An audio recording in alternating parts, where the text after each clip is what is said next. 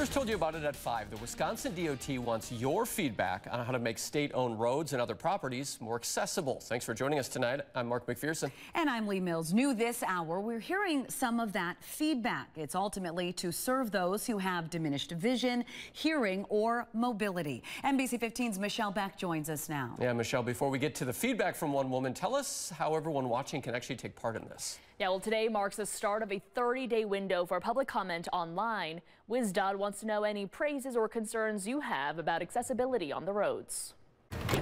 Martha Saravo swings her car door as wide as it can go.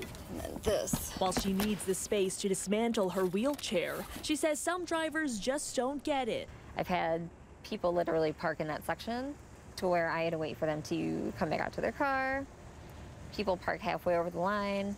But accountability for accessible parking stalls isn't the only accountability she's looking for. She's curious about how it works generally within the state. I'm always curious who is always sitting at these tables, who's having these discussions, and if they have someone that really identifies with the disability community is there someone who is a member of the disability community that's engaging in these conversations?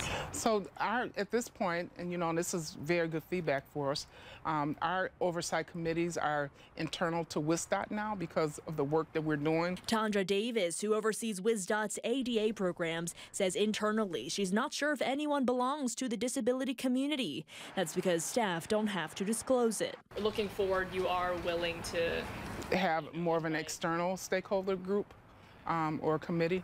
Just one point about accountability in the ongoing conversations about accessibility.